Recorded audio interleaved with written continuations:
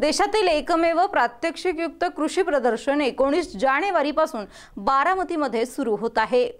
कृषी विज्ञान केंद्र यांच्या वतीने तिसरं कृषी प्रदर्शन एकोणीस जानेवारीपासून बारामतीमध्ये सुरू होणार आहे. वाढ झालेल्या सर्व पिकांच्या प्रात्यक्षिकयुक्त प्रदर्शनाला गेल्या वर्षीही लाखो शेतकऱ्यांनी भेट दिली होती. यावर्षीही नवनवीन प्रयोगांसहित तब्बल एकशे दहा एकरमध्ये हे प्रदर्शन होणार आहे.